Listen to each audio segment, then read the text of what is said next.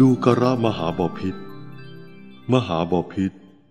พึงทรงระลึกถึงพระตถาคตว่า แม้เพราะเหตุนี้เหตุนี้ พระผู้มีพระภาคพระองค์นั้น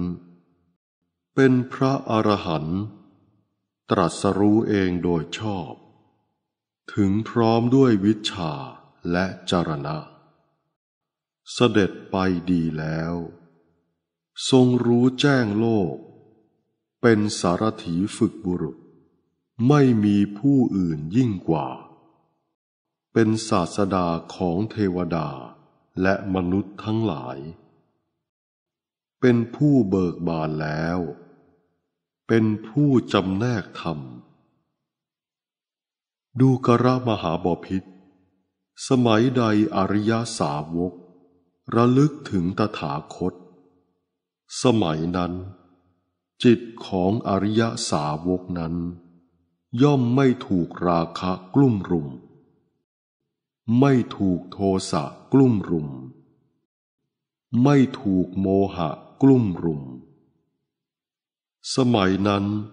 จิตของอริยสาวกนั้น ย่อมดำเนินไปตรง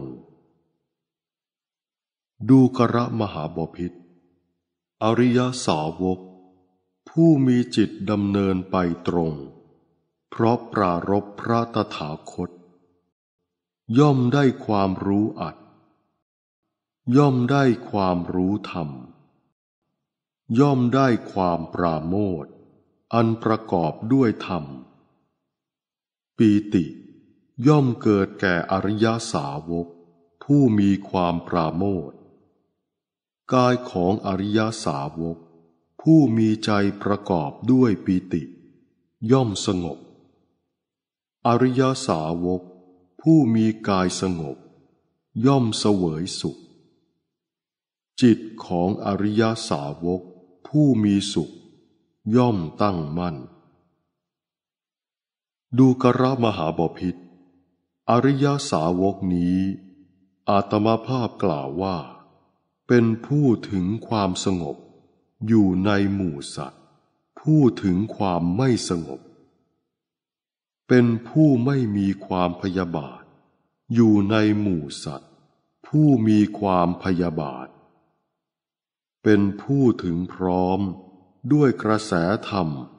เจริญพุทธานุสติ